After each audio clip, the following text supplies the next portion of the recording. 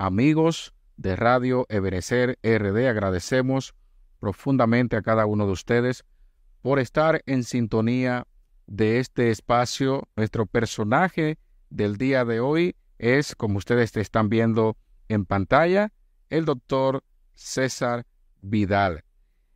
Yo sé que si usted es nuevo en este canal se estará preguntando quién es César Vidal. Pues precisamente hoy vamos a hablar un poco sobre este personaje y sobre todo sobre una situación que se ha estado dando desde hace años con respecto a, a su salida de España, su situación con Hacienda, los fiscales de allá y todo lo que se ha estado haciendo, su relación con sus ex compañeros en COPE cuando estaba trabajando en la radio ya en España, de manera que hay varias informaciones que queremos eh, compartir en el día de hoy con cada uno de ustedes. Así que quiero empezar primero porque sé que hay muchos que no, quizás no conozcan del doctor César Vidal, pero vamos a hablar un poco sobre él. ¿Quién es él?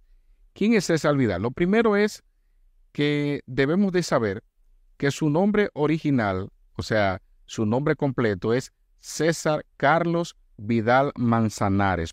Y él nace en en el 1958 en Madrid, España. Es decir, estamos hablando de exactamente 66 años. El doctor César Vidal es un comunicador, escritor, ensayista, eh, nacionalizado estadounidense, autor de numerosas obras de divulgación, ensayos, novelas.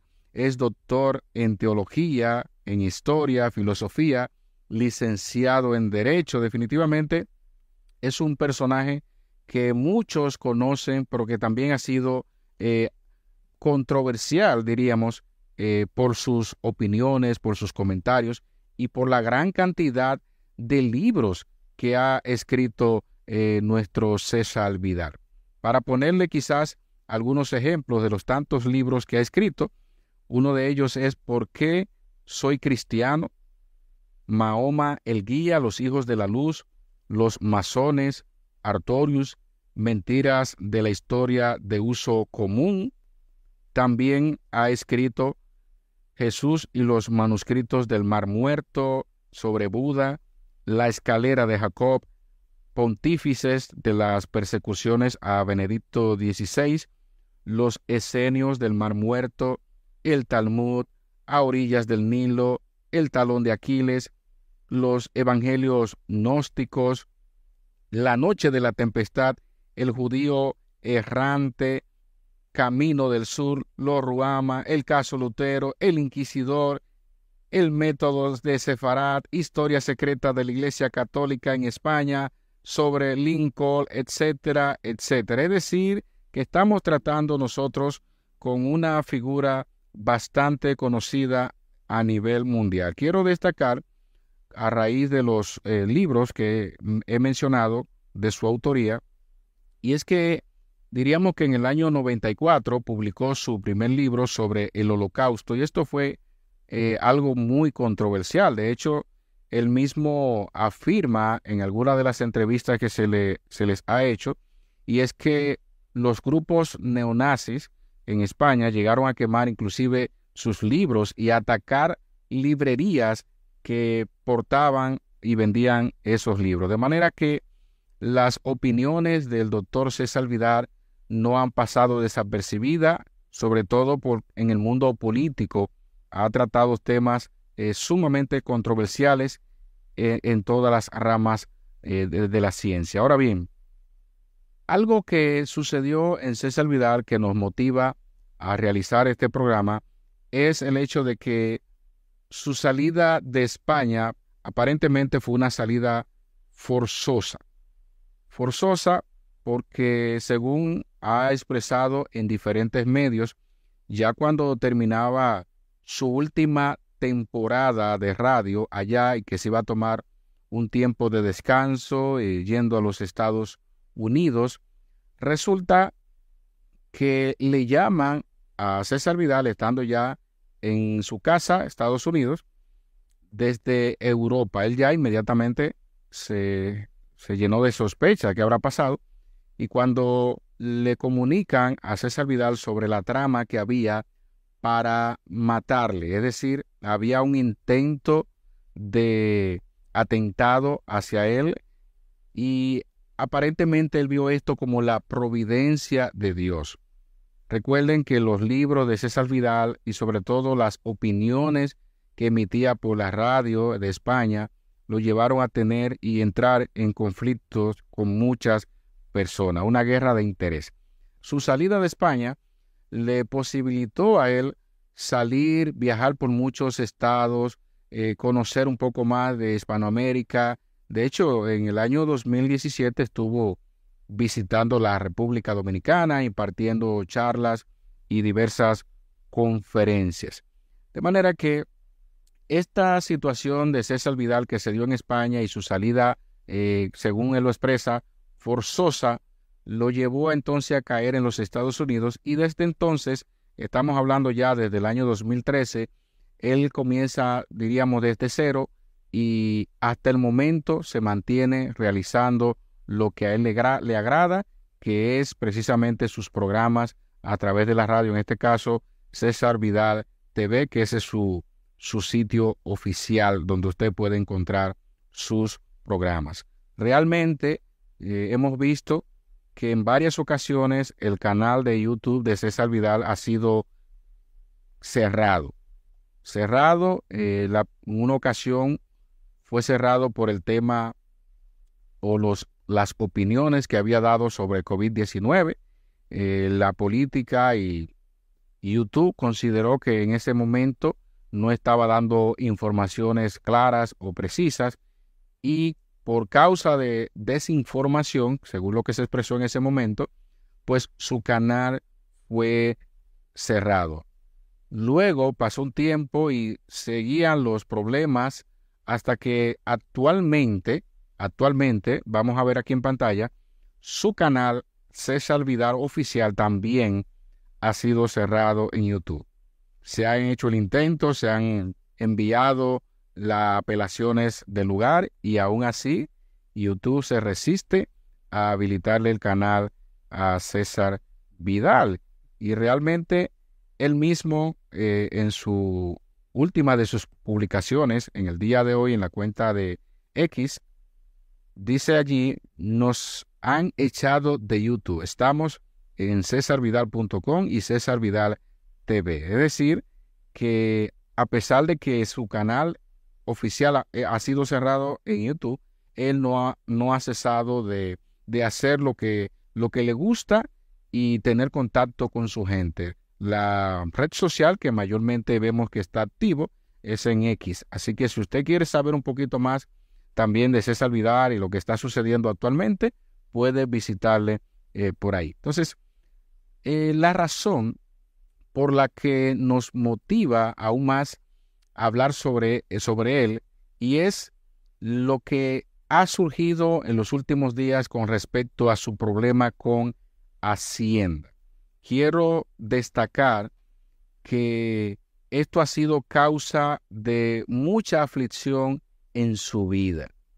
Desde el año 2015, que fue donde se publicó, o Hacienda publicaron los llamados morosos o evasores de impuestos. Desde ese entonces, César Vidal, que figuró en esa lista, ha estado en situación con la Agencia Tributaria de España. La Agencia Tributaria de España publicó la primera lista de deudores con la Hacienda Pública, que en ese entonces llegaba a unas 4.855 personas físicas o jurídicas con una deuda que ascendía 15.600 millones de euros. Estamos hablando de una suma sumamente exorbitante. Allí se incluyen empresas constructoras, inmobiliarias, una gran amplia lista de empresas y entidades que estaban allí. También hay 345 personas con deuda en conjunta que ascendía a 700 millones, 510 personas jurídicas con una deuda de 14.900 millones. Y dentro de ese grupo eh, se mencionó el nombre de César Vidal. De ahí en adelante eh, las cosas se han tornado gris, por un lado, y por otro lado a él también eh, le ha favorecido. ¿Qué fue lo que sucedió? Bueno, entre las cosas que se mencionó allí, a él se le estaba acusando de delito de frustración de la ejecución, antes llamado alzamiento de bienes o como le conocen en algunos eh, países, evasión de impuestos. Se había dicho que él había hecho 10 envíos de dinero a Suiza para evitar el pago de la deuda que iba acumulando con Hacienda.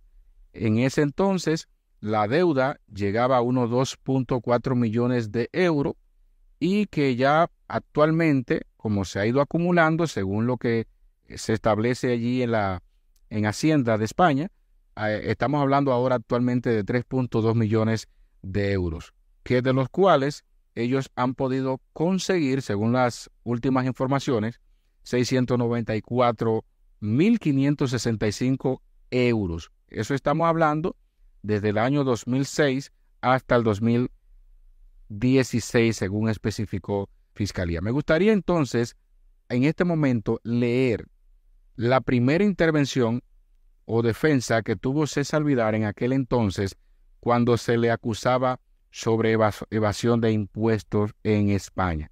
Preste mucha atención porque luego de que veamos las palabras de César Vidal en ese entonces, 2015, vamos a ver ahora, después de nueve años, 2024, en una entrevista reciente que se le hiciera, lo que él dice nueva vez sobre este caso, que todavía muchos entienden que él es el culpable. Pero vamos a ver qué nos dice.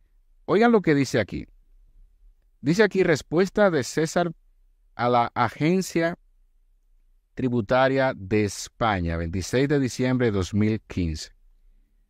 No voy a entrar en la gravísima ilegalidad por Hacienda, pisoteando la ley de protección de datos y dice más, y publicando los relativos no solo a empresas, sino a particulares.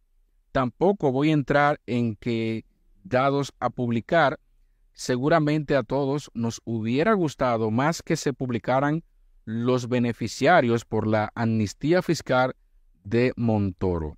Eso lo paso por alto. Entro en otras cosas. De entrada es un grave error confundir defraudador con moroso. El defraudador es un delincuente y todos los de la lista se encontrarían ahora mismo en el banquillo si lo hubieran sido. El moroso es el que no ha abonado en tiempo una deuda. Sucede, sin embargo, que para abonarla tiene que existir una resolución previa al respecto y en este caso, al menos en lo que a mí se refiere, no existe. No solo eso, llevo pleiteando con esta situación desde la época de Zapatero, porque primero fue SP y luego Montoro. Siempre he pagado hasta el último céntimo de impuestos y eh, esta situación no deriva más que de una torcida interpretación de la agencia tributaria, a la que llevo años resistiéndome en los tribunales. Tras pagar durante años, la agencia tributaria aparece y decide que mi empresa soy yo y que, por lo tanto, lo que pagó mi empresa he de pagarlo ahora yo por segunda vez, con una escala tributaria mayor, más multa más intereses. El resultado final es superior a los ingresos que haya podido tener jamás. Semejante espolio se viene practicando desde hace años. Algunos capitulan, entre otras razones, porque preventivamente Hacienda podría embargar sus salarios condenándolos al hambre a ellos y a sus familias. Otros decidimos resistir. Yo pleiteo porque es mi derecho y porque tengo razón y sobre todo porque creo que es un deber ciudadano oponerse a inspecciones contra derecho en las que la agencia tributaria convierte a los contribuyentes en lo que una sentencia del Tribunal Supremo ha denominado Guantánamo tributario. El hecho de que Hacienda pierda más de la mitad de las causas ante los tribunales avala lo que digo porque lamentablemente son legión los contribuyentes que prefieren pagar y callar para no tener problemas en el futuro, y aunque sea injusto, agachan la cabeza y se someten, yo no pienso hacerlo.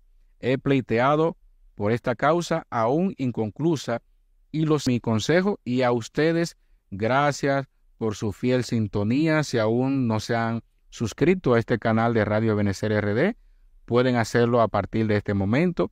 Una vez más, muchas gracias y que Dios les bendiga grandemente.